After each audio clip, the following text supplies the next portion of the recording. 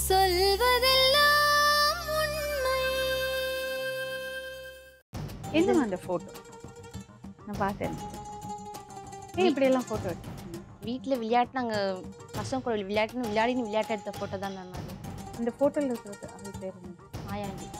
அவர்கிட்ட ஃபோனில் பேசுனீங்களா நீங்கள் இங்கேருந்து பேசினேன் மேம் நான்- ரொம்ப தப்பு பண்ணுறாங்க நான் என் பொண்ணு நான் ரொம்ப ரொம்ப தப்பு பண்ணுறாங்க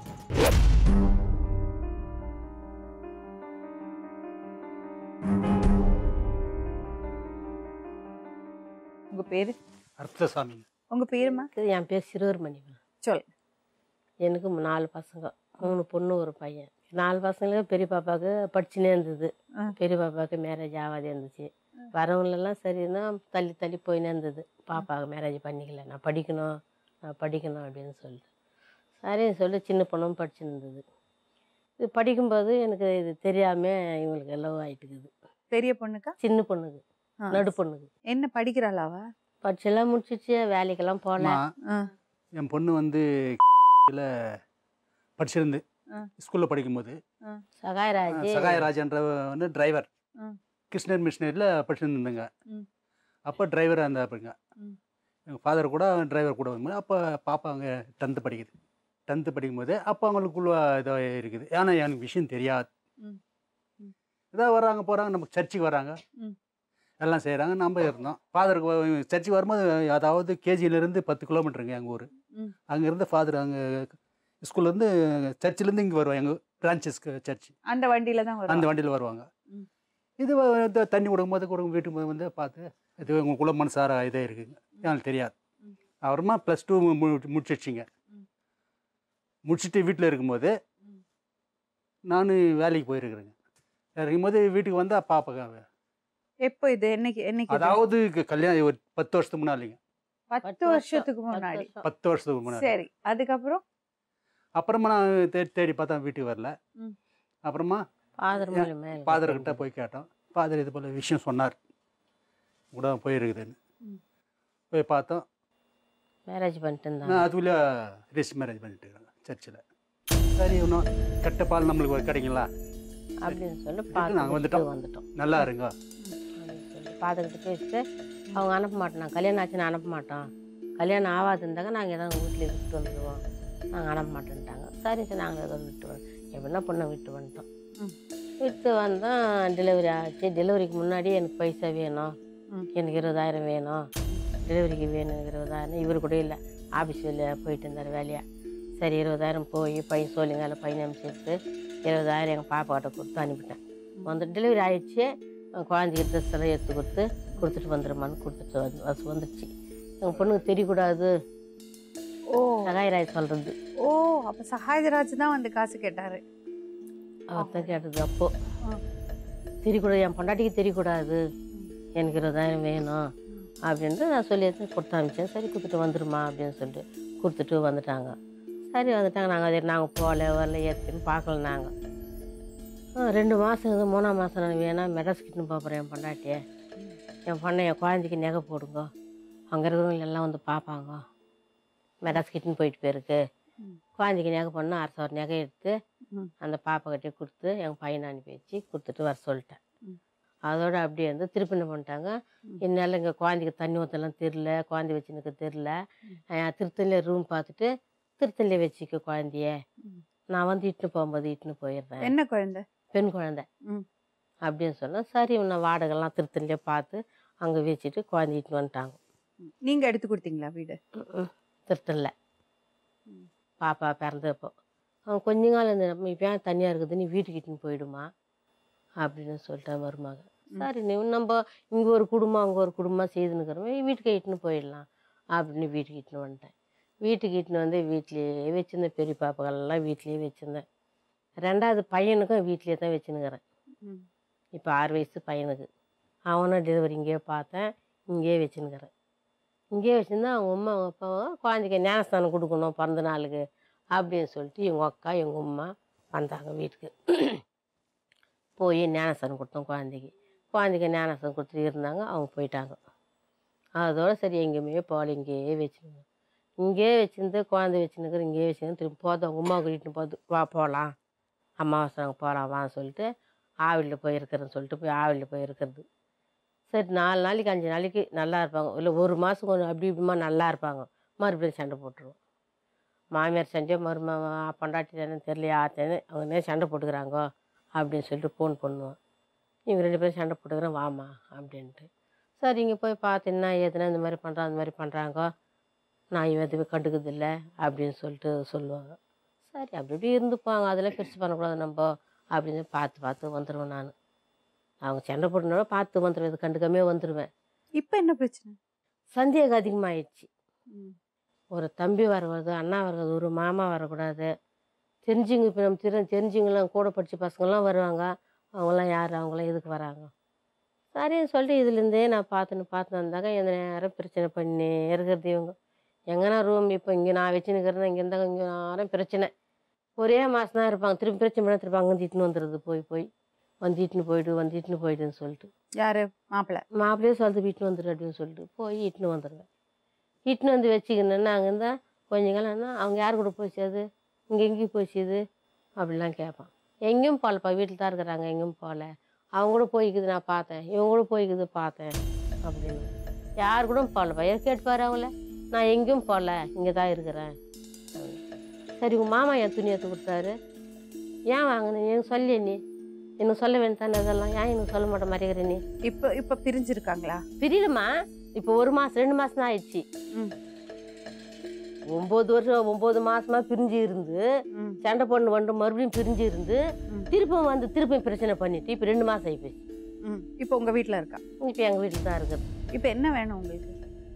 எங்கள் பாப்பாவுக்கு இவன் வந்து சந்தேகப்படுறான் சந்தேகம் இப்போ உங்க கூட நான் பேசியிருந்தாங்கன்னா உன்னை என்ன ஜாயின்ட் பண்ணிட்டு நீ அவங்க ரெண்டு பேரும் இருக்கிறீங்க அப்படின்னு சொல்லிடுறது போட்டாங்களை எடுத்து வச்சு எங்கள் சொந்தக்காரருக்கெல்லாம் அந்த போட்டோ அனுப்பிட்டான் என்ன போட்டோ எங்கள் பாப்பா போட்டோ இன்னொரு பையன் போட்டோ வச்சு எல்லோருக்கும் போட்டோ அனுப்பிட்டான் வீட்டுங்களுக்கு. எங்கள் சொந்தக்காருக்கெல்லாம் போட்டோ அனுப்பிட்டான் அந்த செல்லில் இருக்கிற நம்பருக்கெல்லாம் போட்டோ அனுப்பிட்டான் இந்த மாதிரி இருக்கிறா இவா இவன் கூட இருக்கிறா இவன் கூட பேசினுக்கிறான். இவன் இருக்கிறான் வீட்டுக்கு வந்துக்கிறான். அப்படின்னு சொல்லி அவங்க கூட எல்லாம் அது ஜாயிண்ட் போய் ஜாயிண்ட் போட்டாங்க அனுப்பிட்டான் நாலு மாதம் ஆச்சு எங்கள் பையனுக்கு கல்யாணம் ஆகி. எங்கள் எப்படி போட்டோ எடுத்தாங்க? போட்டோ எப்படி பாப்பா கூட வீட்டுக்கு வா இப்போ வீட்டுக்கு வா எங்கள் தம்பியாலும் வீட்டுக்கு வருவாங்க. வந்தாக்கா இருப்பாங்க பிறந்த நாளுக்கு வருவாங்க அப்ப நல்லா போட்டோ கிட்ட நல்லா கட்டி பிடிச்சிக்குவாங்க. நல்லா யாரு இருப்பாங்க. கட்டி பிடிச்சாங்க? எங்கள் பசங்கள்லாம் கட்டி பிடிப்பாங்க தம்பியாங்க புரியல. தம்பியாங்கம்மா? உங்க தம்பி எங்கள் தம்பியாங்கெல்லாம் அக்கா பொண்ணு. நல்லா சேர்த்து பிடிச்சிக்குவாங்க. நல்லா என் மாமான்னு சொல்லிட்டு அவங்களும் நல்லா பா இருப்பாங்க.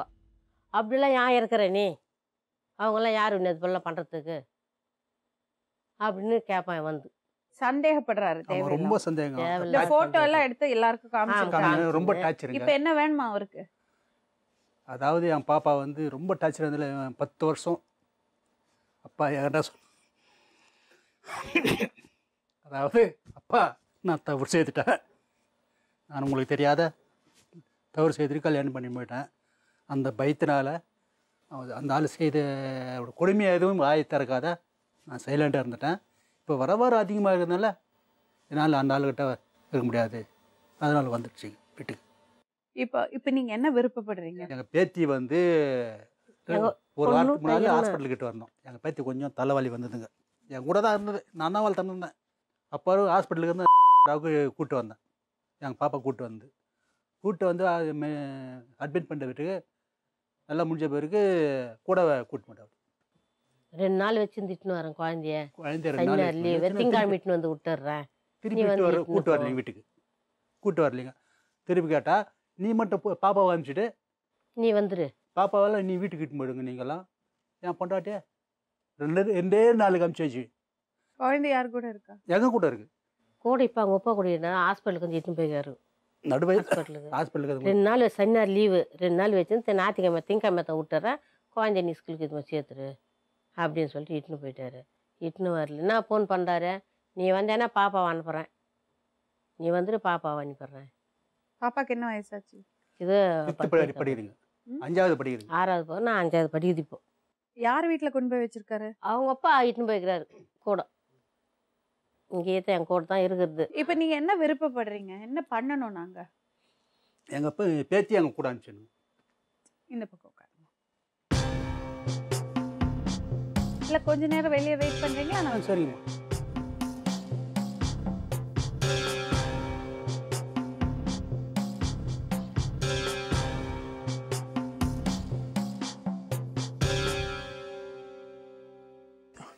என் பேர் சகாயராஜன் எனக்கு கல்யாணம் ஆகி பத்து வருஷம் ஆகுது. நான் எங்கள் மனைவி கிட்ட வந்து ஒரு இந்த ஒரு பத்து வருஷமாகவே ஒரு சில கருத்து வேறுபாடு நிறைய இருந்துட்டு வந்தது. இப்போ ஒரு ஒன்றரை வருஷத்துக்கு முன்னாடி வந்து அவங்க அப்பா வீட்டு பக்கத்துலேயே அவங்க போனாங்க. நானும் வந்து இங்கே மெட்ராஸில் வேலைக்கு போயிட்டு வாரத்துக்கு driver madam call taxi driver. இங்கே வந்து ஒரு பத்து நாள் வண்டி ஓட்டுவேன் அப்புறம் வீட்டுக்கு போய் ஒரு ரெண்டு நாள் இருப்பேன்.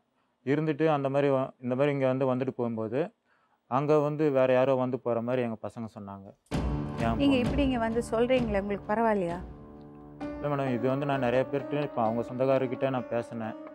அவங்க சொந்தக்காரங்கிட்ட இந்த விஷயம் எல்லாமே பேசினேன். அவங்க யாருமே வந்து என் மனைவி வந்து என் கூட அனுப்புறதுக்கு யாருமே வந்து முயற்சி பண்ணலை. அதே மாதிரி என் மனைவிக்கிட்டேயும் சொன்னேன் நான். ஏம்மா நான் வந்து எல்லா பிரச்சனையும் நான் விட்டுறேன். எனக்கு வந்து நீ நீ வந்து தப்பு பண்ணியிருந்தாலும் சரி பண்ணாமல் இருந்தாலும் சரி என் குழந்தைங்களுக்காக நீ வேணும். நீ அங்கேருந்து வந்துடுமான்னு சொல்லிட்டு அவங்க காலில் கூட விழுந்துட்டேன் நான். ஆனால் அவங்க இருந்தாலும் பிடிவாதமாக நான் வரேன் நான் வரேன் வரேன்னு சொல்கிறாங்க ஆனால் இன்னும் அந்த இடத்த விட்டு வர மாட்டேங்கிறாங்க. சரி இங்க நீங்க வந்து சொன்னதுனால வருவாங்க அவங்க வருவாங்களா? அது எனக்கு தெரியலம்மா எனக்கு. அப்புறம் ஏன் வந்தீங்க? இப்போ இது இப்போ நான் இங்கே ஏன் வந்தேன்னு சொன்னால் என் குழந்தைங்களுக்காக அம்மா வேணும். ஏன்னா என் பொண்ணுக்கு வந்து பத்து வயசு ஆகுது பையனுக்கு ஆறு வயசு ஆகுது இப்போ இப்போ அந்த ரெண்டு குழந்தைங்களும் என்னால் வச்சுன்னு வளர்க்க முடியாது. இப்போ அவங்க என்ன சொல்கிறாங்க நீங்கள் குழந்தைய விட்டு இப்போ குழந்தைய வந்து என்கிட்ட கொடுத்துரு. நீ போயிடு. எனக்கு வந்து நீ வேண்டாம். சப்போஸ் இங்க. வந்து சொன்னதுனால அவங்க வர மாட்டேன்னு சொன்னாங்கன்னா என்ன பண்ணுவீங்க அது அவங்களுடைய விருப்பம் மேடம். அப்போ உங்களுக்கு இங்க வந்ததோட உத்தேசம்?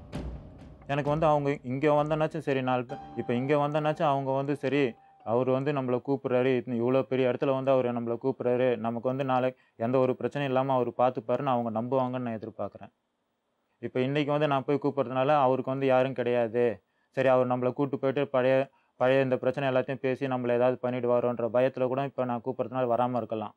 சரி இப்போ இங்கே வந்து இப்போ இத்தனை பேர் முன்னாடி நான் கூப்பிடும்போது அவங்க சரி இத்தனை பேர் முன்னாடி வந்து அவர் வந்து நம்மளை நல்லபடியாக பார்த்துப்பேன் இந்த பழைய பிரச்சனை எதுவும் நான் பேச மாட்டேன் அப்படின்னு சொல்லி அவர் நம்மளை கூட்டு போய் நல்லபடியாக பார்த்துப்பாரு அப்படின்னு சொல்லி அவங்க நம்புவாங்கன்ற எதிர்பார்ப்பு. ஸோ அவங்க ஒய்ஃபோட சேர்ந்து வாழணும் நினைக்கிறீங்க ஆமாம் ஆமாம் உங்களுக்கு என்ன மாதிரி கருத்து வேறுபாடு இருந்தது? கருத்து வேறுபாடுனா இப்போ அவங்க கிட்ட இருக்கிற ஒரு பழக்கம் என்னென்னா ஃபோன் பண்ணுவாங்க. அந்த நம்பர் டெலீட் பண்ணிடுவாங்க. நான் வீட்டுக்கு வரும்போது யார் ஃபோன் பண்ணாங்க என்ன விஷயம் சொன்னாங்கன்ட்டு என்கிட்ட சொல்ல மாட்டாங்க. அதே சமயத்தில் நான் இல்லாதப்போ யாராவது வீட்டுக்கு வந்தாலும் இவங்க வந்துட்டு போனாங்க இவங்க இன்னைக்கு வந்து இப்போ இன்னைக்கு வரேன்னு சொல்லியிருக்காங்க அப்படின்ட்டு என்கிட்ட சொல்ல மாட்டாங்க. சரி உங்களுக்கு ரெண்டு பேருக்கு லவ் மேரேஜ் தானே? ஆமாங்கம்மா. இனிஷியலாக உங்கள் ஒய்ஃபை கல்யாணம் பண்ண டெலிவரி டைம் முன்னாடியெல்லாம் உங்கள் அம்மா அப்பாட்ட இந்த காசெல்லாம் கேட்டிருக்கீங்க அதெல்லாம் உங்கள் ஒய்ஃப்க்கு தெரியுமா? இல்லை இப்போ அவங்க அம்மா அப்பா கிட்டே நான் வந்து இப்போ அவங்கள நான் டெலிவரி எங்கள் அவங்க வந்து லவ் பண்ணி கூப்பிட்டு வந்தேன். கூப்பிட்டு வந்து எங்கள் வீட்டில் தான் இருந்தாங்க. எங்கள் வீட்டில் இருக்கும்போது எங்கள் அம்மாவுக்கும் எங்கள் ஒய்ஃபுக்கும் கொஞ்சம் பிரச்சனைங்க வந்தது. அந்த பிரச்சனையில் வந்து குழந்தைய வந்து கை குழந்தை. பார்த்துக்க முடியல எங்கள் அம்மாவால். அப்போது வந்து நான் தான் வந்து அவங்க அக்கா கிட்ட ஃபோன் பண்ணி பேசினேன். எம்மா உங்கள் பொண்ணை நான் கூப்பிட்டு வந்தது என் தப்பு தான். இப்போ அதை கூப்பிட்டு வந்ததுக்காக என் குழந்தைய தண்டிச்சிடாதீங்க. குழந்தை வந்து கை குழந்த. நான் வேணால் உங்களுக்கு விருப்பம் இருந்தால் நான் உங்கள் வீட்டுக்கு அனுப்பி வைக்கிறேன். நீங்கள் குழந்தைய பார்த்துங்க அப்படின்னு சொல்லிட்டு நான் தான் அனுப்பி வச்சேன். அவங்களும் எங்களுக்கு ஒன்றும் பிரச்சனை இல்லைண்ணா நீங்கள் அனுப்பி விடுங்க அப்படின்னு சொன்னாங்க. சரின்ட்டு அனுப்பி வச்சேன். அவங்க திருத்தணியில் இருந்து திருத்தணியில் ஒரு வீடு எடுத்து பார்த்துருந்தாங்க. நானும் கம்பெனியில் வேலைக்கு போயிட்டு இருந்தேன் அப்போது அப்போ கம்பெனியில் வேலைக்கு போயிட்டு இருக்கும்போது அவங்களும் சொன்னாங்க அவங்க அம்மா சொன்னாங்க சரி திருத்தணியில் எதுக்கு வச்சு பார்த்துன்னு இருக்குது? நான் எங்கள் வீட்டுக்கே கூப்பிட்டு போகிறேன் அப்படின்னு இல்லை அதுக்கெல்லாம் முன்னாடி நகை போட சொல்லியிருக்கீங்க. இருபதாயிரம் ரூபாய் பணம் வாங்கியிருக்கீங்க. அது அப்போ இல்லை மேடம். அது அப்போ கிடையாது. இப்போ என் குழந்தை வந்து அங்கே போகிறது இது வந்து இப்போ லவ் பண்ணி நான் கூட்டு வந்து என் குழந்தை பிறந்த பிறகு அவங்கள வந்து மொத முத இவங்க வந்து அவங்க வீட்டுக்கு கூட்டு போகிறாங்க கூட்டு போகும்போது அவங்க அம்மா வந்து சொல்கிறாங்க இல்லைப்பா இங்கே திருத்தணியில் வச்சு பார்க்கறத விட நாங்கள் வந்து எங்கள் வீட்டில் வச்சு ஓகேப்பா. பார்த்துக்கிறோம். ம். முதல்ல கல்யாணம் ஆன புதுசுல டெலிவரிக்கு முன்னாடி நீங்க அவங்கள்ட்ட காசு வாங்கினீங்களா? இல்லைம்மா. இருபதாயிரம் ரூபாய் வாங்கினீங்க சொல்றாங்க. இல்லைம்மா. அந்த இருபதாயிரம் ரூபாய் இருபத்தஞ்சாயிரம் ரூபாய் நான் வாங்கியிருக்கேன் அவங்கக்கிட்ட அது எப்போ வாங்கினேன்னு சொன்னால் நான் கம்பெனியில் வேலைக்கு போயிட்டு என் மனைவி என் குழந்தை எல்லாருமே அவங்க வீட்டில் இருந்தாங்க. அப்போ வந்து என் பொண்ணு பேரில் ஒரு எஸ்பிஐ லைஃப் இன்சூரன்ஸ் போட்டிருந்தேன். அப்போ போட்டிருக்கும்போது நான் வந்து இப்போ எங்கள் வீட்டில் இருக்கும்போது அதை ஆரம்பித்தேன் ஆரம்பிச்சுட்டு அதுக்கப்புறம் எங்கள் வீட்டில் அவங்க பிரச்சனை பண்ணிவிட்டு அவங்க வீட்டுக்கே போயிட்டாங்க. அவங்க வீட்டுக்கு போயிட்ட பிறகு எனக்கு வந்து கையில் வந்து பைசா கிடையாது. அப்போ அந்த இது பாலிசி கட்டுறதுக்காக நான் அவங்க அப்பா கிட்ட பேசியிருந்தேன். இந்த மாதிரி பொண்ணு பேரில் வருஷத்துக்கு இருபத்தஞ்சாயிரம் நான் போட்டுன்னு இருக்கிறேன். உங்களால் முடிஞ்சால் ரெடி பண்ணி கொடுங்க அப்படின்னு கேட்டேன். அதுக்கு அவர் கொடுத்தாருமா வேற எதுவும் காசு வாங்கல. வேறு எதுவும் வாங்கலாமா மற்றபடி அவங்க பசங்களுக்கு பசங்களுக்கு நல்லது கெட்டது செய்கிறது இப்போ இந்த இந்த பொண்ணு எங்கள் மனைவிக்கு நல்லது கெட்டது செய்கிறது எல்லாமே அவங்க தான் பார்க்குறாங்க நான் வந்து வேலைக்கு போயிட்டு என் கையில் இருக்கிற காசு நான் கொடுத்துட்டு வருவேன். என்கிட்ட இருக்கும்போது நான்? பார்த்துக்கிறேன் இப்போ ஃபஸ்ட்டு வந்து நான் கம்பெனியில் வேலைக்கு போயிட்டு இருந்தேன். இப்போ தான் நான் வந்து கால் டாக்ஸி ஓட்டுறேன். அதுக்கப்புறம் அவங்க அப்பா வந்தார். நான் பொண்ணுன்னு எத்தனை நாளைக்கு மறந்துட முடியும்? பொண்ணுன்னு பார்க்க தேவையில்லையான்னாரு. அப்புறம் என்னை கேட்டார் என்ன பண்ணுறீங்கன்னாரு நான் சொன்னேன் கால் டாக்ஸி தான் போயிட்டுருக்குறேன். காசு வருமானம் பத்து தான் கேட்டார். இல்லைங்க ஏதோ கஷ்டத்தில் தான் போயின்னு இருக்கு ஏற்கனவே ஒரு வண்டி எடுத்தோம் உருப்படி இல்லாமல் போயிடுச்சு. இதே கஷ்டத்தில் போயின்னு இருக்கு வேணா உங்களால் முடிஞ்சால் எனக்கு உதவி பண்ணுங்கள் கடனாக கொடுங்க. கடனாக கொடுத்துட்டு நீங்கள் உங்கள் பொண்ணுக்கிட்டேயே வாங்கிக்கிங்க அப்படின்னு சொன்னேன். அவரும் அவரும் யோசித்து பார்த்துட்டு சரிப்பா நான் கொடுக்குறேன். எல்லாம் ரெடி பண்ணு அப்படின்னாரு. எல்லாமே அவரே ரெடி பண்ணார். ஃபைனான்ஸுக்காரங்களை வர வச்சேன். அவரும் பேசினார். பேசிவிட்டு வண்டிக்கு வந்து ரெண்டரை லட்ச ரூபா கட்டணும் அப்படின்ட்டு ஃபைனான்ஸ் ஃபைனான்ஸ்லேயும் அவங்கக்கிட்ட சொன்னாங்க. நானும் சொன்னேன். எல்லாத்துக்குமே ஒத்துக்குன்னு. சரின்ட்டு அவர் ஃபைனான்ஸு அவரே கேரண்டர் கையெழுத்தாக போடுறதா அவரே ஒத்துக்குன்னு கேரண்டர் கையெழுத்தும் அவரே போட்டார். போட்டுட்டு அவரே ஒரு லட்சம் பணம் கொடுத்தாரு. பணத்தை எடுத்துகிட்டு போயிட்டு வண்டியும் புக் பண்ணியாச்சு. வண்டி புக் பண்ணிவிட்டு ஃபைனான்ஸுக்காரங்களை அவரே அவரே கூப்பிட்டு போய் அவங்க வீட்டை எல்லாத்தையுமே காட்டிட்டு இங்கே வந்து என்னை விட்டுட்டு நான் போய் ஒரு வாரத்தில் மீதி பைசா ரெடி பண்ணிட்டு வரேன்னு போனவர். மூணு மாதமாக ஃபோன் எடுக்கலை. ரெண்டாவது எங்கள் ஒய்ஃபை கேட்டேன். ஏம்மா இந்த மாதிரி உங்கள் அப்பா வந்தார். ஏதோ நான் பாட்டுன்னு ஏதோ வேலைக்கு போயிட்டு கூலி வேலைக்கு போயிட்டு நான் பார்த்துட்டு இருந்தேன். வந்து இந்த மாதிரி ஆசையை காட்டி இந்த மாதிரி மோசம் பண்ணிட்டு போயிட்டாரம்மா இந்த மாதிரி ஃபோன் எடுக்கலையே என்னம்மா பண்ணுறது அப்படின்ட்டு எங்கள் ஒய்ஃபை நான் திட்டினேன். அவங்க என்ன சொன்னாங்க சரி கொடுத்த வரைக்கும் கொடுத்துட்டாங்களா அதுக்கப்புறம் நீ பார்த்துக்க வேண்டியதானே அப்படின்னாங்க.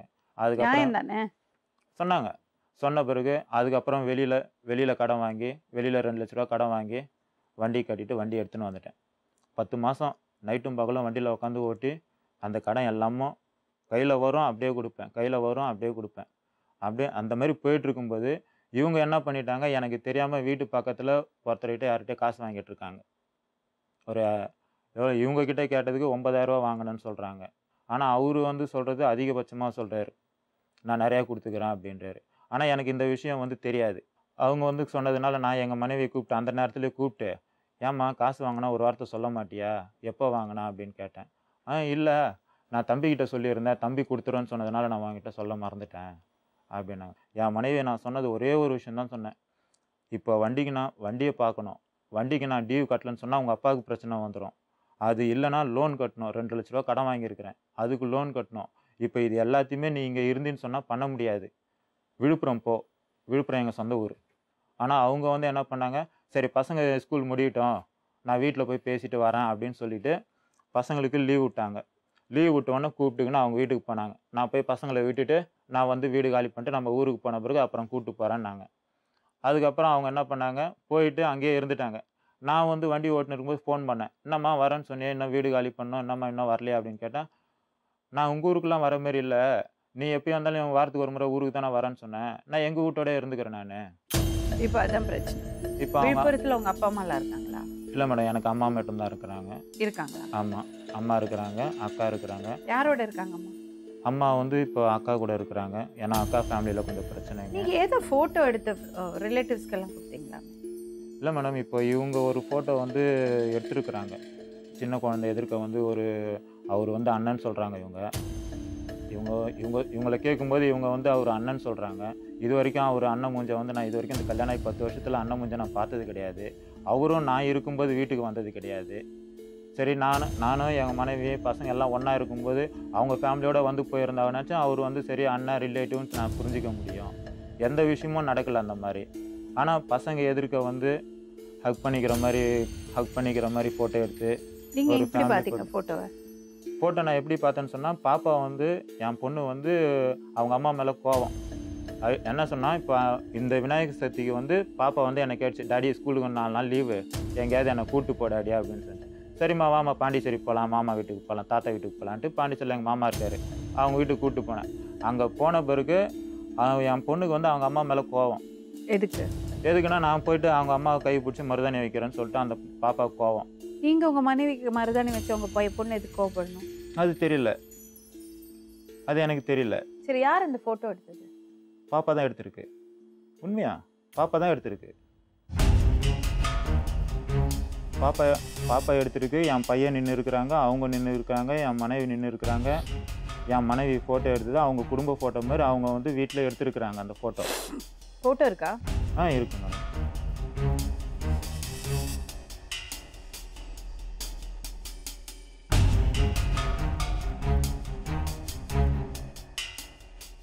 இவர் பேர் என்னது? அவர் பேர் வந்து மாயாண்டியான் இந்த ஃபோட்டோவை கேட்டதுக்கு தான் இது யாருன்னு நான் போயிட்டு ஃபஸ்ட்டு வந்து இந்த ஃபோட்டோ நான் பார்த்த பிறகு என் மனைவி கிட்ட கூட கேட்கல நான். இந்த ஃபோட்டோ பார்த்த பிறகு அவங்க தம்பிக்கிட்ட தான் கேட்டேன். அவங்க நான் வேலையில் இருந்தேன். வேலையில் இருக்கும்போது அவங்க தம்பிக்கு ஃபோன் பண்ணி எப்பா இந்த மாதிரி உங்கள் பொண்ணு உங்கள் வீட்டு பக்கத்தில் இருக்கும்போதே இந்த மாதிரி நடந்திருக்கு. இது என்னன்னு எனக்கு தெரியல. ஃபோட்டோ அனுப்பி விட்றேன். நீ என்ன ஏதுன்னு விசாரிச்சு சொல்லு. அப்படின்னு சொன்னேன் அவங்க தம்பிக்கு ஃபஸ்ட்டு அனுப்பணுமா. அவங்க தம்பிக்கு வந்து அனுப்பி இது யார் என்னன்ட்டு விசாரிக்கல அப்படின்னு சொல்லிட்டு அவங்க தம்பிக்கு அனுப்புனேன். அவங்க தம்பி வந்து இந்த ஃபோட்டோ பார்த்ததுலேருந்து என் ஃபோனை எடுக்கவே இல்லை. வேற யாருக்கெல்லாம் போட்டோ ஃபோட்டோ அனுப்புனது வந்து இப்போ அவங்க தம்பிக்கு அனுப்புனேன். அவர் வந்து ஒரு ரிலேஷனில் வந்து ஒரு இன்ஸ்பெக்டர் ஒருத்தர் இருக்கிறாரு அண்ணாதுரன் சொல்லிட்டு. அப்புறம் இவங்க பெரிய மாமாவுக்கு. மொத்தம் ஒரு நாலு பேருக்கு தான் அனுப்புனேன் நான். நீங்க பாப்பாவை போட்டோ எடுக்க சொன்னீங்களா? இல்லை நான் எடுக்க போய். சொல்லக்கூடாது என்கிட்ட. இல்லை உண்மையா? உண்மையே? இப்போ அந்த நீங்கள் வச்சுருந்தீங்களே செ இப்போ நீங்கள் பார்த்தீங்களா செல்லு அந்த செல்லு வந்து அவங்க அம்மா எங்கேருந்து எடுத்துகிட்டு வந்தாங்கன்னே எனக்கு தெரியாது. நீங்க பாப்பாவை போட்டோ எடுக்க நான் எடுக்க சொல்லலை. உங்க வைஃப் வந்திருக்காங்களா? ம் வந்திருக்காங்கம்மா. அவங்கள்ட்ட பேசுறேன். ம் சரிங்கம்மா.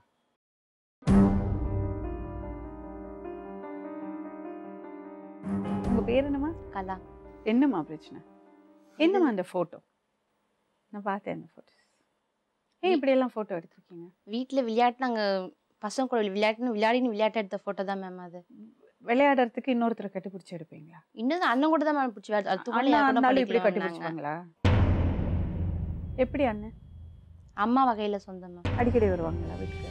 அடிக்கடியில் வர ஏதோ விசேஷம் அப்படின்னு சொன்னால் ஏதோ உடம்பு சரியில்லை அப்படின்னு சொன்னால் அவங்க ஃபேமிலி வந்து பார்த்துட்டு போவாங்க. வீட்டுக்கு வருவாங்க. பார்த்துட்டு போவாங்க. மற்றபடி அடிக்கடி வர்றது அந்த மாதிரிலாம் கிடையாது. அவங்க ஒய்ஃபு குழந்தைங்கலாம் ஆ வருவாங்க மேம்.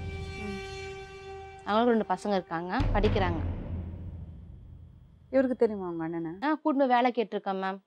வேலை கேட்டிருக்கேன். அதுக்கப்புறம் நாங்கள் மெட்ராஸுக்கு வந்துட்டோம்.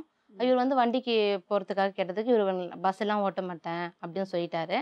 அதுக்கப்புறம் எனக்கு தெரிஞ்சது நான் என்னோட தொழில் வந்து வண்டியில் தான் இருக்கேன் நான். மற்றலாம் எனக்கு தெரியாது. நான் வேணா கேட்டு வேணா விசாரிச்சு ரொம்ப பழக்கம்லாம் கிடையாது அவரோட. ரொம்ப லவ்லாதான் கிடையாது. மேம் இன்னொரு விஷயம் மேடம் அவர் வந்து இங்கே இப்போ நாங்கள் அங்கே கேஜி கண்டில் இருக்கும்போது அவர் வந்து கேஜி வந்து போகிற விஷயத்தை இவங்க என்கிட்ட சொல்லலை. ஆனால் இவங்க பிறந்த நாளைக்கு நான் வந்து இவங்க பிறந்த நாளைக்கு இப்போ ஜூலை மாதம் வந்தது. இவங்க பிறந்த நாளைக்கு நான் வெளியில் இருக்கிறேன். மதியம் நாலு மணிக்கு நான் வீட்டுக்கு போகிறேன் நாலு மணி சாயந்தரம் நாலு மணிக்கு நான் வீட்டுக்கு போகும்போது கேட்டேன் யார் யாரும்மா வந்துட்டு போனாங்க? வீட்டில் உங்கள் சொந்த வீட்டில் எல்லாம் வந்துட்டு போனாங்களான்னு கேட்டேன். கேட்டதுக்கு ஒரே வார்த்தை தான் சொன்னாங்க. காலையிலேருந்து எங்கள் அக்கா வீ- கூட இருந்தது. இப்போ தான் நீ வரேன்னு தெரிஞ்சோடனே இப்போ தான் போனாங்க அப்படின்னாங்க. ஆனால் அந்த ஃபோட்டோவை பார்த்தா காலையிலேருந்து அவரும் கூட இருந்திருக்காரு. அவங்க அக்காவும் கூட இருந்திருக்குது. நான் அப்போ தான் கேட்டேன் நான் ஏம்மா உங்கள் அக்கா வந்ததை மட்டும் சொன்னேன். ஏம்மா அவர் வந்ததை நீ என்கிட்ட ஏம்மா மறைக்கிற? சொல்ல வேண்டியதானே? கலா பாருங்க புருஷன் பொண்டாட்டிக்குள்ள நம்பிக்கைங்கிறது இல்லைன்னா அப்புறம் பிரய- பிரயோஜனமே கிடையாது. பசங்களை வளர்க்க முடியாது. தெரியும் உங்களுக்கு சரி நம்மெல்லாம் மனுஷங்க தான். உங்களுக்கு அப்படி யாராவது ஏதாவது ஒரு அட்ராக்ஷன் தோணுச்சு இல்லை அப்படி ஒரு நட்பு வந்தது நட்பை விட கொஞ்சம் ஜாஸ்தியான ஒரு விஷயந்தான் எனக்கு அந்த ஃபோட்டோவில் தெரியும்.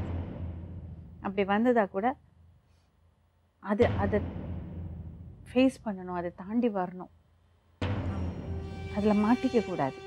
மாட்டினீங்கன்னா உங்கள் பொண்ணு நீங்கள் சொல்கிறத பார்த்தீங்கன்னா உங்கள் பொண்ணு ரொம்ப உஷாரான பொண்ணு.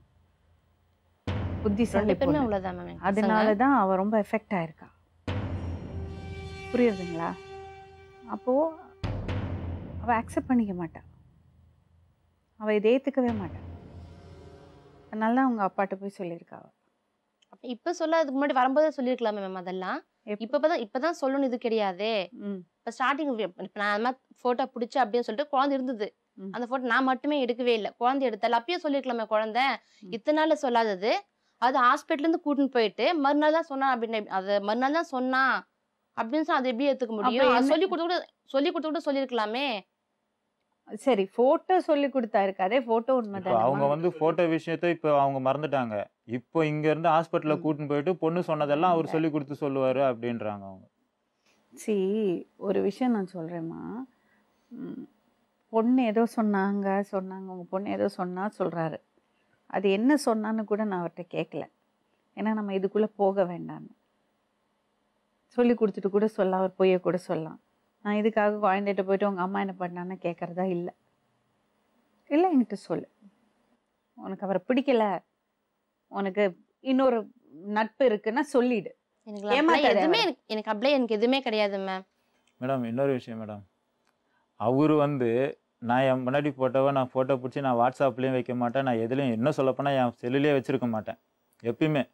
ஆனால் அவர் வந்து இவங்க ரெண்டு பேரும் செல்ஃபி எடுத்து அவர் வாட்ஸ்அப் ப்ரூஃபைல வச்சுருந்தார். அதை வந்து டிஎஸ்பி ஆஃபீஸில் அவர் நம்பரை சொன்ன உடனே டிஎஸ்பி ஆஃபீஸில் அவங்க நம்பரை வாட்ஸ்அப்பில் போட்டு பார்க்குறாங்க இவங்க ஃபோட்டோவும் அவங்க ஃபோட்டோவும் ஒன்றா செல்ஃபியில் வருது. ப்ரூஃபைல் இதை இதை நான் வந்து அவங்க தம்பி கிட்ட தான் சொல்றாரு. ஆனால் இவங்க கிட்ட கேட்டது இவங்களும் சொன்னாங்க. ஆமாம் நாங்கள் வீட்டுக்கு வெளியே வந்தோம் நாங்கள் ரெண்டு பேர் அவர் ரெண்டு பேரும் நின்று செல்ஃபி எடுத்துக்கணும். அவர் போட்டாரா என்னன்னு தெரில எனக்கு. வீட்டுக்கு வெளியே எடுக்கவே இல்லை மேம் கல்யாணத்துல நிறைய போட்டோ எடுத்தோம். ஃபேமிலியா தம்பி தம்பி ஒய்ஃப் எல்லாமே மேரேஜ் டைம்லயே போட்டோ எடுத்தோம். இன்னும் கலா. சொல்லுங்க மேம் சின்ன வயசுல காது குத்திருக்காங்க எத்தனை வயசுல தெரியுமா? நீங்க அப்பா அம்மா எல்லாரும் கேளுங்க மேம் நீங்க. அப்பா அம்மாக்கு என்னம்மா தெரியும்? நான் தான் பார்த்துட்டேன் அப்பா அம்மாக்கு போட்டோ காமிச்சியா? அவங்க இல்ல காமிக்கவா? அவங்க அதை பார்த்துட்டு தான் மேடம் சொல்கிறாங்க விளையாடுறியா? உங்க அம்மா நீ செஞ்சது செஞ்சா நீ சும்மா இருப்பியா? இருக்க மாட்டோம் அதுக்காக நான் எல்லாமே அவர்கிட்ட உங்க சொல்ல அம்மா செஞ் நீ இப்ப செஞ்ச விஷயத்த உங்க அம்மா செஞ்சிருந்தா உன் வாழ்க்கை என்ன இருக்கும் கெட்டு தான் போயிருக்கோம் அவ்வளவுதான். ஃபுல் ஸ்டாப் இதுக்கு மேல நம்ம பேச வேண்டாம். புரியுதா? உங்க அம்மா உனக்கு எப்படி ஒரு நல்ல அம்மாவா இருக்காங்களோ அதே மாதிரி உன் பொண்ணுக்கு ஒரு நல்ல அம்மாவா இரு. கண்டிப்பா மேம் அவ்வளவுதான் நான் சொல்வேன். சொல்ல மேம் நானு. அவ்வளவுதான் நான் சொல்வேன். ப்ளீஸ் உன் புள்ளைக்கு நல்ல அம்மாவா இரு. உதாரணமா இரு. ஓகே ஓகேயா அவங்க அப்பா அம்மா வர சொல்லு.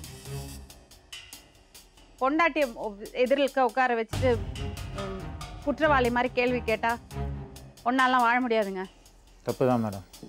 ஒரு சில ஒரு சில விஷயத்தில் நானும் நான் தப்பு பண்ணிட்டேன். தப்பு. மட்டுமே சொல்லி சொல்லக்கூடாது நான் எவ்வளவு செஞ்சு தம்பி எவ்வளவோ இருக்குது. நான் அத்தனை பேருக்கு முன்னாடி அசிங்கம் எனக்கு தான் அசிங்கம் அது. என் புருஷனை பத்தி நான் கேவலமா சொன்னா எனக்கு தான் அசிங்கம் அது. அதுக்காக நான் எவ்வளவு நான் கண்ட்ரோல் பண்ணியிருக்கேன். அவரை மாதிரி நான் போய் கொட்டி இல்லாம அள்ள முடியாது.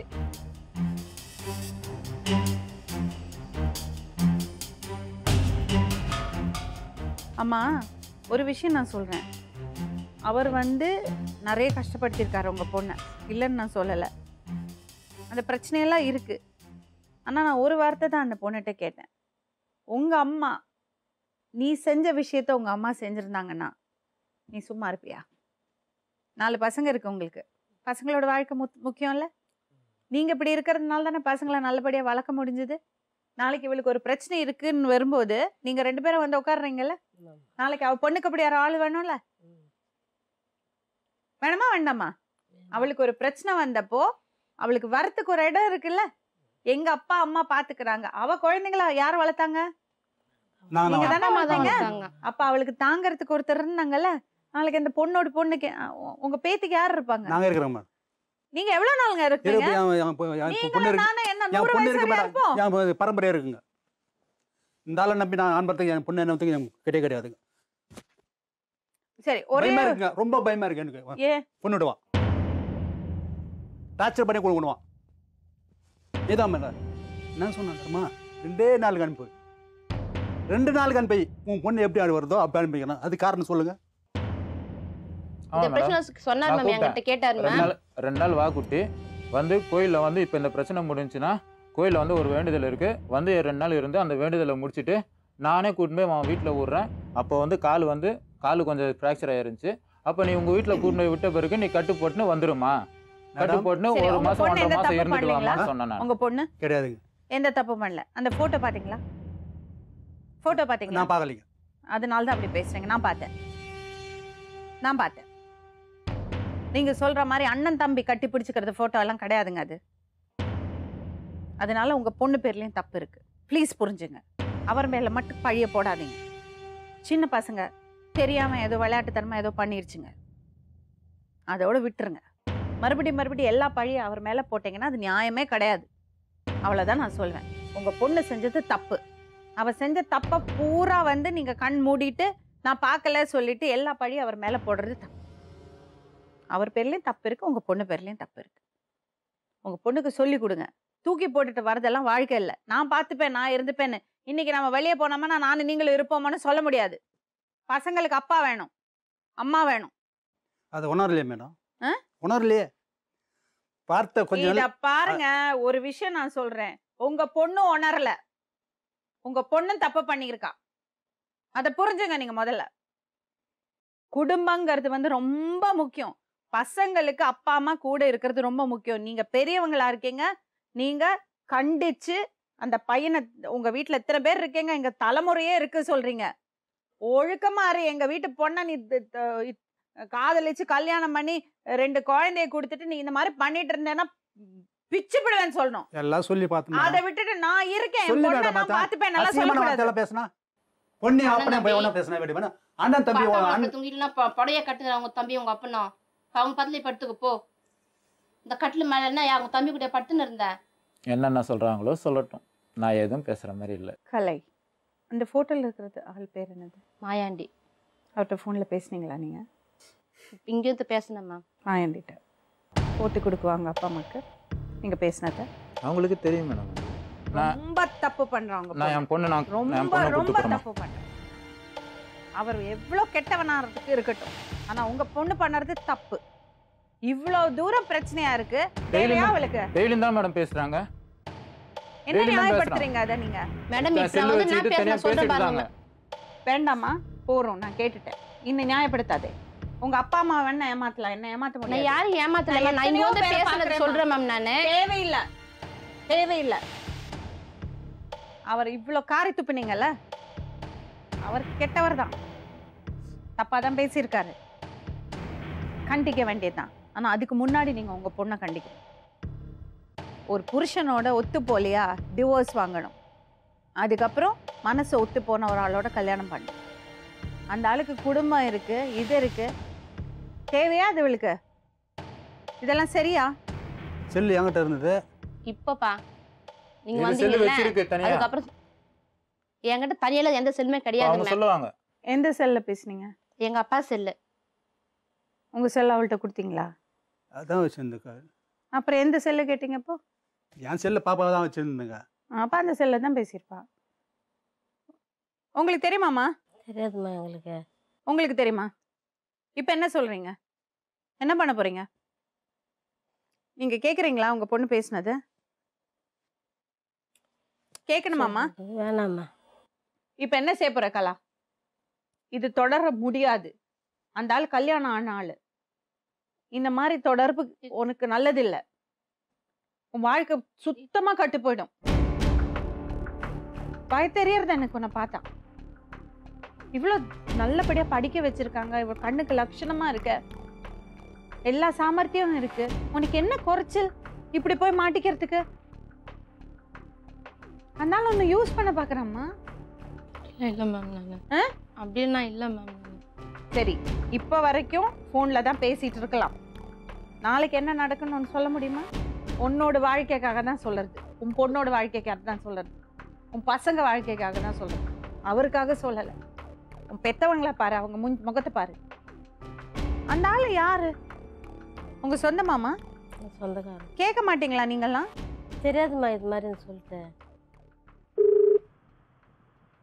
நீ பேசு. நீ பேசு. ஹலோ? ஹலோ? ஆ சொல்லுப்பா. ஹலோ? ஹலோ? சொல்லு மிஸ்டர் மாயாண்டி. சொல்லுங்க மேடம். நான் லக்ஷ்மி ராமகிருஷ்ணன் பேசுறேங்க. சொல்லுங்க மேடம். உங்கள்ட்ட ஒரு சின்ன ரிக்வெஸ்ட் வைக்கணும்.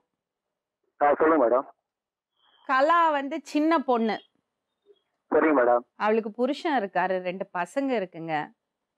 சரிங்க மேடம். தயவு செஞ்சு அவங்க வாழ்க்கையில பிரச்சனை பண்ணாதீங்க. நான் அந்த மாதிரிலாம் ஒன்றும் பண்ணல மேடம். நான் வந்து சொந்தக்கார வீட்டுக்கு போய் காசு கொடுத்து தான் போயிருந்தேன் மேடம். மிஸ்டர் மாயாண்டி நாங்க உங்க போட்டோகிராஃப் பார்த்தோம். சரிங்க மேடம் அந்த பொண்ணு உங்கள்ட்ட பேசினதெல்லாம் கேட்டோம். சரிங்க மேடம் சரியா? அதனால எங்களுக்கு தெரியும் என்ன நடக்கிறதுன்னு. ஃபோன்ல மட்டும்தான் பேச்சிருந்தா கூட இதோட கட் பண்ணீங்க. சரிங்க மேடம் உங்களுக்கு காலேஜுக்கு போறது பசங்க இருக்காங்க உங்க குடும்பத்தை பாருங்க.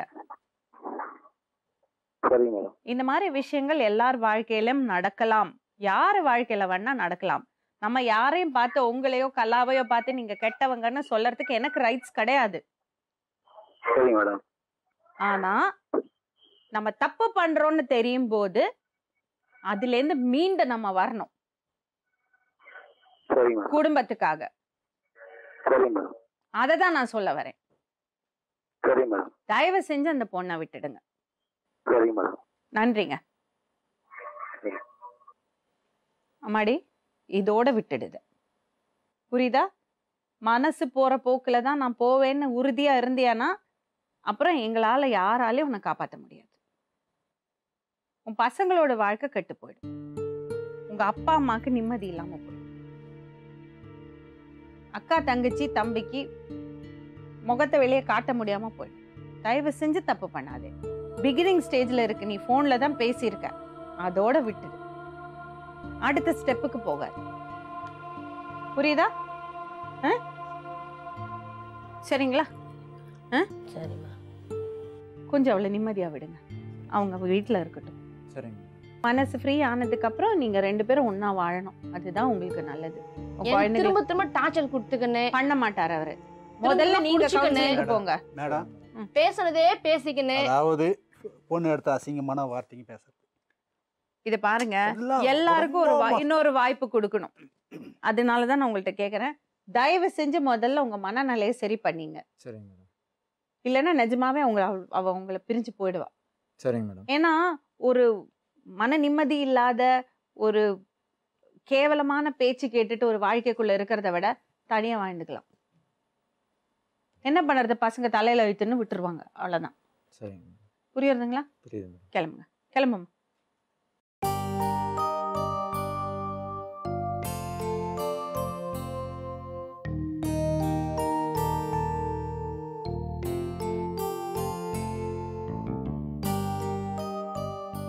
எனக்கு என்ன கவலைன்னா ஏழு வயசு ஹாசினி. அந்த குழந்தைக்கு கூட பாலியல் கொடுமை நடந்து அந்த குழந்தை கொல்லப்பட்டிருக்கா. எத்தனையோ கேசஸ் குழந்தைங்க வந்து வீட்டில் இருக்கிறதுவங்க இல்லை ரொம்ப நெருங்கினவங்க வந்து குழந்தைங்கள தப்பாக இது பண்ணி பாலியல் தொல்லை கொடுத்து அந்த மாதிரியான விஷயங்கள் நமக்கு தெரிய வருது. குட் டச் பேட் டச் மூணு வயசு குழந்தைக்கு கூட இது குட் டச்சா பேட் டச்சான்னு சொல்ல கொடு சொல்லி கொடுக்க வேண்டிய ஒரு கேவலமான நிலைமையில நம்ம இருக்கோம். இந்த மாதிரி இருக்கும்போது பெற்றவங்க அதுவும் தாய்மார்கள் வந்து எவ்வளோ கேர்ஃபுல்லாக இருக்கணும். அந்த பொண்ணை நான் ஒரே அடியாக தப்பான பொண்ணு குறை எதுவுமே சொல்ல அவளும் மனுஷி தானே.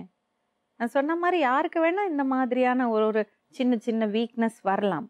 ஆனால் நம்ம வளர்ப்பும் நம்ம புத்தியும் வந்து நம்ம செய்கிறது தப்பு இதுலேருந்து நம்ம மீண்டு வரணும்னு நமக்கு ஹெல்ப் பண்ணும். அந்த தைரியத்தையும் அந்த தெம்பையும் தான் நம்ம வளர்த்துக்கணும். அதுதான் பெண் விடுதலை. மனசுக்குள்ள நம்ம மனசை வந்து கட்டுப்படுத்த முடியணும். ஹஸ்பண்ட் திரும்பி எப்போ பாரு தண்ணி அடிக்கிறது எப்போ பாரு திட்டுறது எப்போ பாரு சண்டையப்படுறது இருந்துட்டு இருந்தா இன்னொருத்தர் வந்து ஆதரவாக பேசி நல்லபடியாக பேசினா அந்த பொண்ணு ஒரு ஒரு ஃபோனில் பேசி ஒரு நட்புக்காக ஃபோனில் பேசுறது வந்து பெரிய க்ரைம் எல்லாம் கிடையாது. ஆனால் அது எப்போ அந்த வரம்பு மீறும்? பசங்களுக்கு நம்ம என்ன உதாரணம் செட் பண்ணுறோம் அதனால குடும்பத்தில் என்னென்ன குழப்பங்கள் வருது? அதெல்லாம் ரொம்ப முக்கியம்ல. அந்த இடத்துல தான் நம்ம ஜாகிரதையாக இருக்கணும். அவரும் புரிஞ்சுக்கிட்டு அவரோட அவர்கிட்ட இருக்க பழ கெட்ட பழக்கங்களை பல கெட்ட பழக்கங்களை திருத்திக்கிட்டாருன்னா நல்லது.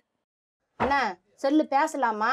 நீ வந்து கேளு பாத்ரூம்ல இது வரைக்கும் முடிஞ்சு போச்சு குட்டி இது. வரைக்கும் முடிஞ்சு போச்சு, குட்டி. பேசாதீங்க. முடிஞ்சிச்சு, இதோட. இல்ல பாத்ரூம்ல பேச செல்லு இதோட பேச முடிஞ்சு போச்சு. இரு இப்போ. இதோட முடிஞ்சு போச்சு முடிஞ்சு போச்சு நீ தப்பு அவன் பண்ணது. அம்பலம் போச்சு இப்ப இதோட விட்டுடு. இதே வச்சுருந்தா அதானே? வாழ்க்கையால தான் ஒழுங்கா இருக்கு இதோட பாத்ரூம்ல விட்டுடுன்ட்டாங்க. நம்ம பார்க்கணும்.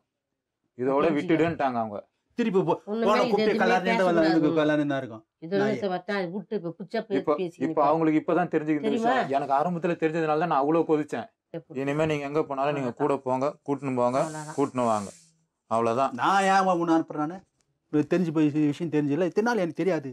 இதுக்கப்புறம் மா இதுக்கப்புறம் என்னாச்சும் போயிட்டு அவன் மேல எனக்கு கம்ப்ளைண்ட் கொடுங்க உன்னை. இந்த அளவுக்கு அவன் செய்துக்கிறான்னு குடுத்த நாசம் பண்ணான்ட்டு இன்னும் அவ்வளோதான் சின்ன வார்த்தை கூட அசிங்கமான வார்த்தை பேசினேன் நான் பேச மாட்டேன்ப்பா இனிமே. எனக்கு உப்பா இத்தனை பேசுறேன் இ- இல்லப்பா இப்போ இப்போ பேசி என்ன சொன்ன நீ? அவ்வளோதான் என்ன சொன்ன நீ? இட்டுன்னு போய் என்ன அசிங்கமான வார்த்தை நான் சொல்ல- வந்து இந்த விஷயத்த நான் சொல்லியிருக்கும் போது நீங்க புரிஞ்சிக்கல அதை நீங்க இவ்வளோ இவ்வளோ இங்க வந்த பிறகு தான் இங்க வந்த பிறகு இந்த பொண்ணு உங்களை ஏமாத்துறதுக்கு இந்த பொண்ணு இந்த பொண்ணை. பத்தி நீங்க புரிஞ்சுக்கினது இங்க தான் புரிஞ்சுக்கினீங்க? ஆனா நான் நான் வந்து சொல்ல வரும்போது நீங்க புரிஞ்சிக்கல. அந்த கோவத்துல தான் நான் பேச வேண்டியதாச்சு. என் நிலைமையை புரிஞ்சுக்குங்க. நான் ஒன்று வந்து தப்பான வழிக்கு போகுது அதை நான் உங்ககிட்ட சொல்ல வரும்போது நீ நீங்கள் அதை ஏற்றுக்கிற நிலைமையில இல்லை நானும் அதை வந்து சரியான முறையில் நான் சொல்லலை நான். அந்த வேகத்தில் அந்த கோவத்தில் நான் வார்த்தைங்க வேணால் தப்பாக விட்டுருக்கலாம். இன்னைக்கு நீங்கள் இங்கே வந்த பிறகு தான் உங்களுக்கு தெரியாமல் இப்போ இது பண்ண பிறகு தான் உங்களுக்கே உங்களுக்கு தெரியுது இது உள்ளுக்குள்ளே நடந்துன்னு இருக்குதுன்னு.